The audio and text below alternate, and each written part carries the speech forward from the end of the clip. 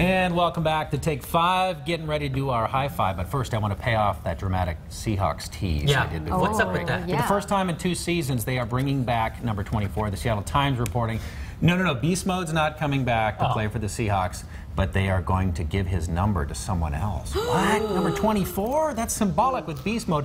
That number, according to the Times, is going to the new cornerback, Mike Tyson. Our Mike, not the other Seahawks. Mike Tyson, he wore uh, number 40 last season, but they're giving him number 24. Would you even want Marshawn Lynch's number? No, it's like, Pressure. can you imagine getting the number 23 as a Chicago Bull? Like, Right. you got to give it to a player that Yeah. deserves number 23. Yeah. You know, 24, that's Marshawn Lynch. So Is fans, it what do you bad, think? Is it Take bad that I've moved on? I, like, I don't. You don't like, care anymore? You're like, eh. take his You're number. But go. You were going to say something. No, I just I would imagine there's going to be some reaction to what, this. what about when Russell leaves and someone else has the number three? Hey, we're be not going to talk about that. Don't talk about Thanks that. for day. saving It'll never me come. from going there. A day will never come. I owe you I'm in my happy place. Russell forever. Russell forever, hashtag. All right, let's time now to uh, give the high five, right? We're talking Yeah. about the high five. So today's high five comes from great grandma Jean. She sent us a picture of a new addition to her family. So let's take a look.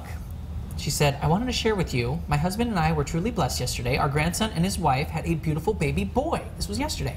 They're from Lewiston, Idaho. Thanks, great great grandma Jean. So I Well, know it's we're still just try- I holding know, it's still trying to come up, but I want to read that quote from you. Maybe so Grandma Jean's she got sent dial-up. us Is that what's going on? yeah, maybe. Picture's still on its way. There There it it is, is. There we Worth the wait.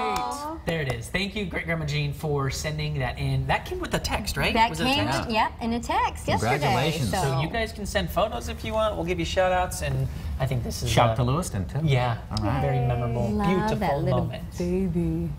I Um, know. also, we should mention tomorrow on Take Mm-hmm. Five, we have financial advice for parents, like the three things to teach your little ones. Gotcha. Ooh.